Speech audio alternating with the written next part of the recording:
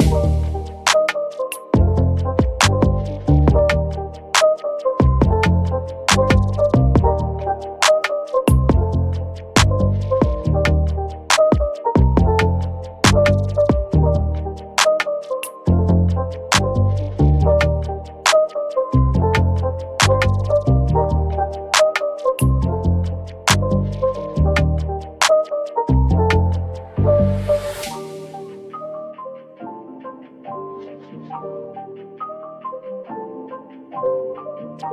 you.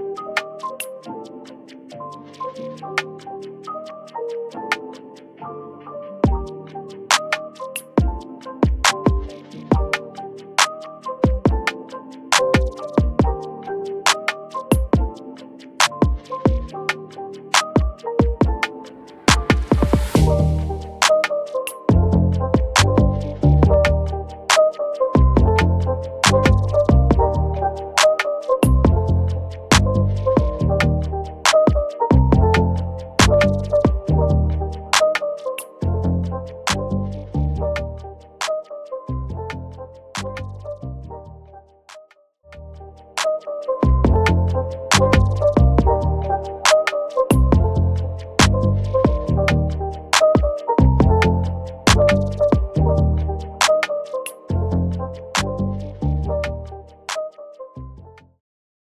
Guys आपने देखा इसको हमने कैसे बनाया बारी इसकी टेस्टिंग की तो टेस्टिंग के लिए सबसे पहले मैं एक जगह इसे प्लेस करूँगा।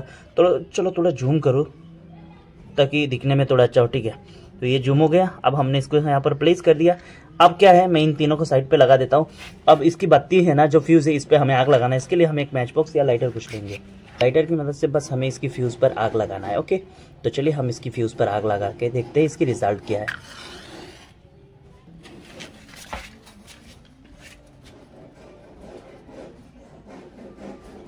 गाइस इसका जो फ्यूज़ है ना, ये सही से काम नहीं किया। चलो दूसरा वाला ट्राई करते हैं।